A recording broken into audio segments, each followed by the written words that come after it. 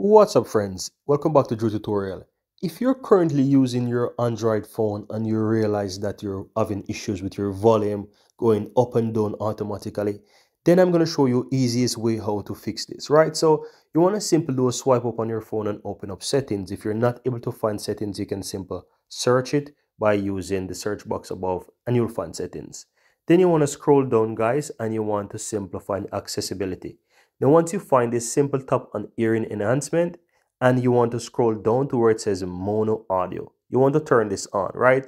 And ensure that it is on and connected audio right there. Now you want to scroll back down a bit and you want to ensure that connected audio is balanced right in the middle there. You can see the three dots there. You want to ensure that it's balanced right in the middle between left and right as well as phone speaker you want to ensure that this is also balanced then once this is done go ahead and restart your phone guys and see if that helps. Really hope you find this useful as i find it help for me as well. And i also want to mention that go ahead and ensure that you don't have a faulty headphone or external speaker that is connected sometimes if you have a faulty headphone or if you're actually using a physical cable plug into your phone then this could also cause an issue so you want to ensure that this is not the case, right? So if you're using a physical cable headphones, then you can simply try to use something with a Bluetooth and see if that helps. Or you can simply just take out it from your phone and use your phone speaker to play and see if that actually helps. So this can help you to dissect